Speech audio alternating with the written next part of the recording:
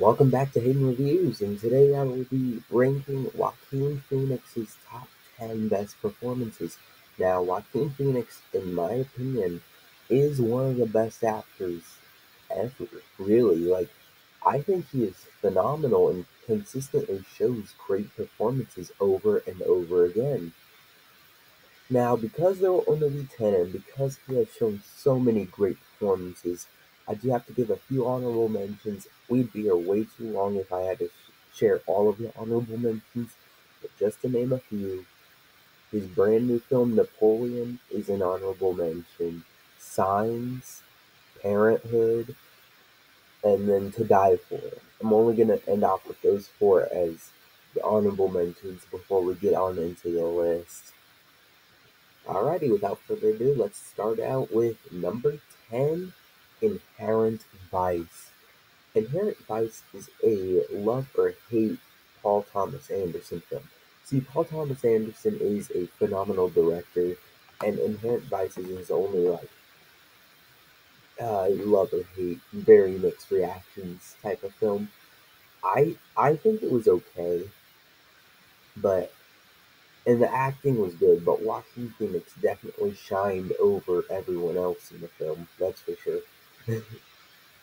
I mean, everyone was great. Everyone was, but Joaquin Phoenix had a very humorous performance that is also very memorable.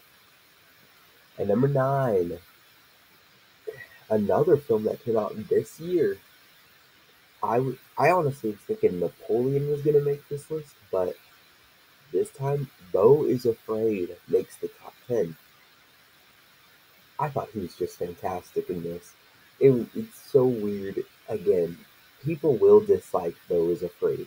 There's no question about that. People will dislike it, but I thought it was a fun movie that is morbid and insane and long. It's three hours long, but even then, the film is definitely carried by Joaquin Phoenix's very versatile performance and is necessary necessarily like just leaning on him the entire film.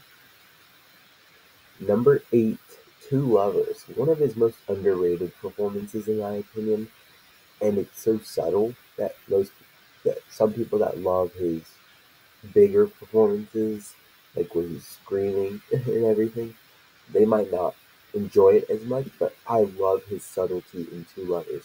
And in my opinion, I think Joaquin Phoenix is one of the best subtle actors ever. Two Lovers is the first of many subtle performances on this list. I honestly think there's like four major subtle performances on this list. And Two Lovers is the first one, and it, it was so good. It really is and we'll get into see how great Joaquin Phoenix is at subtlety later on. Uh, now this is where things get hard.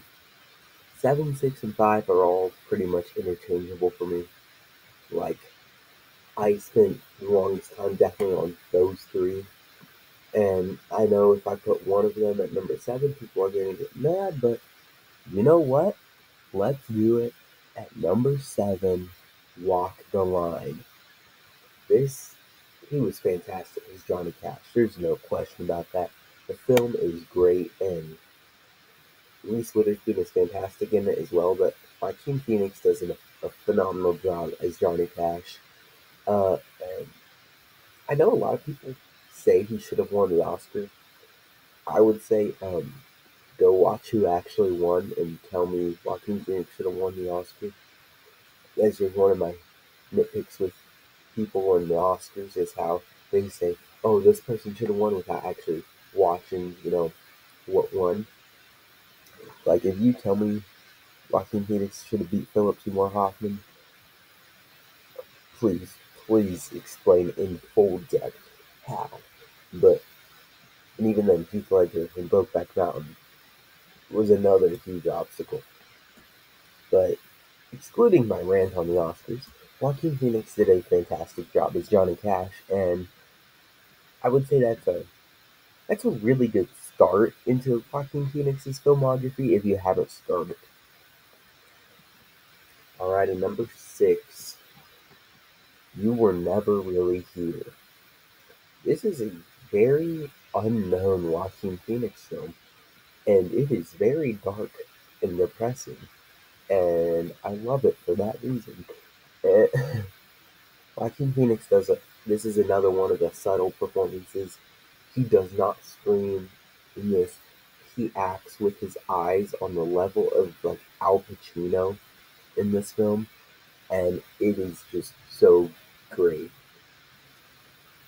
And then I feel like I'm about to repeat myself, but number six, Joaquin, that one. Uh, number six, come on, come on. Now, uh, so you know how I said you were never really here was morbid and depressing in that way. Come on, come on is like loving and depressing in a different way. I think it's just a hair more complex and a hair more in depth than you were never really here. That's like otherwise they are like super close in terms of acting. If you like to explain how they're not, go ahead. But I think his performance in Come On, Come On is absolutely phenomenal and should be an essential watch. And if I haven't said this already, every single performance on here is, in my opinion, Oscar tier. Like, they're all award worthy. But I genuinely think, because he has four Oscar nominations right now, the chances of him getting nominated for Beau is Afraid is at this point really low, even though he totally should get a nomination, or at least be in consideration for a nomination. Uh, but like I thought he was great in Inherent Vice, though that was a tough year. With easily that was a tough year. Two Lovers again, very tough year. And then you were never really here again, but still, come on, come on, I think he definitely should have gotten a nomination for. He that year he totally should have gotten a nomination for. That was the year Will Smith won for King Richard, and then there was Benedict Cumberbatch in The Power of the Dog, Denzel Washington in The Tragedy of Macbeth, Andrew Garfield in uh, Tick Tick Boom, and then uh, Javier Bardem in Being the Ricardos in my opinion, Joaquin Phoenix was for sure better than at least two of those performances. Maybe three. Maybe four.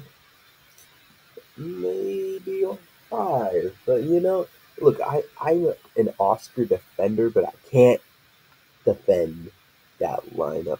I'm not it's not that the lineup is bad, it's just it could have used some work with what else would happen that year. All right, before number four, his first big one, Gladiator. And now I know this is a huge debate. Who was better in Gladiator, Russell Crowe or Joaquin Phoenix? A lot of people say Russell Crowe. I personally say Joaquin Phoenix.